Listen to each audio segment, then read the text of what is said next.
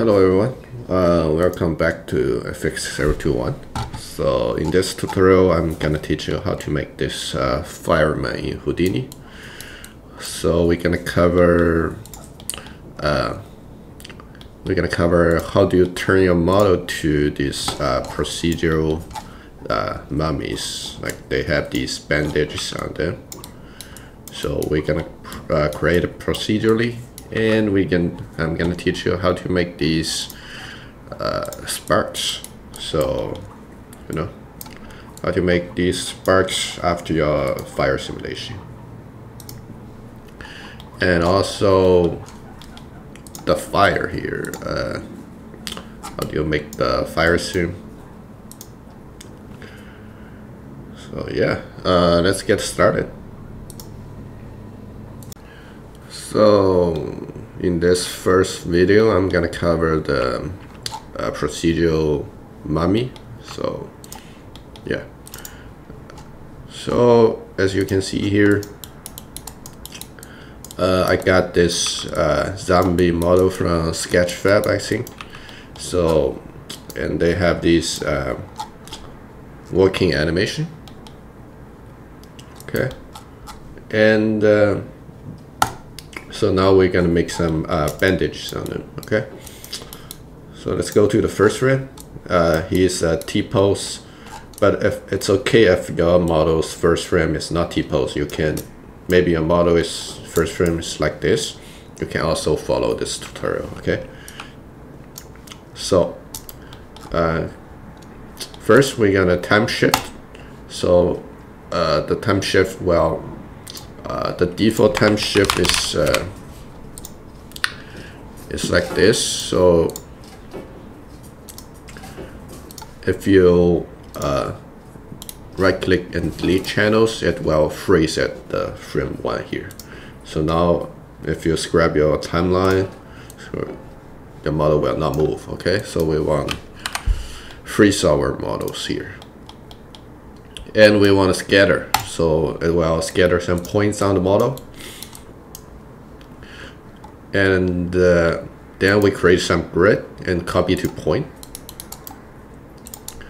So as you can see here. And then we run an intersection analyze here. Now you can see this these lines. So it's it's the intersect part uh, between our model and this uh, grid. So they create these lines here. So just connect your uh, grid to the left input and your time shift model to the right input input. So yeah it will create these lines. And the reason why we time shift our model is because if your model has animation and you want to scatter point on it, on it uh, let's and if you play your animation you can see your point are moving with the animation you know? You can see the point are different.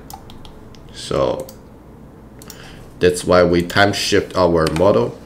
So now this point are stable and then we point deform our oh, we will wrap this point onto our uh, model that has animation so that's why we time shift here.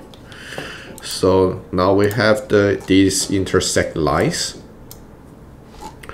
Uh, it's pretty much down okay? So uh, in Vellum post process we have these extrude by thickness you can also use sweep node but I find it's uh, it's not working very well. Also you can try the poly uh, wire. Uh, these will all make your lines uh, turn into polygons. So if you create a line here and use a sweep node uh, choose maybe round tube yeah. And you'll have this uh, parameter here to change column and you can also apply scale. Yeah you maybe you wanna uh, it's not changing okay because we don't have enough polygons so yeah you can you can use sweep node if it's working for you Also, you can use the poly wire, which is the same. Change the radius, uh, maybe too much here. Yeah. So you can try uh, sweeping the poly wire, but I'm using the Vellum post process here, which just works the best for me. So you can extrude uh, by thickness, thickness, and you can play around with these values here, okay? So now you got this, and uh, also I have these cleanup node, polypath. You can connect these endpoint because the result from here is not not ideal. Like maybe you have these uh, some point uh, like overlapping or like there are single point uh, that's not in in the line. So you can use the polypath to uh, clean it and uh, use a resample node. So the resample node now you can see like uh, these edges might be a little bit jagged. So you can use a resample node to you know smooth it a little bit. Okay.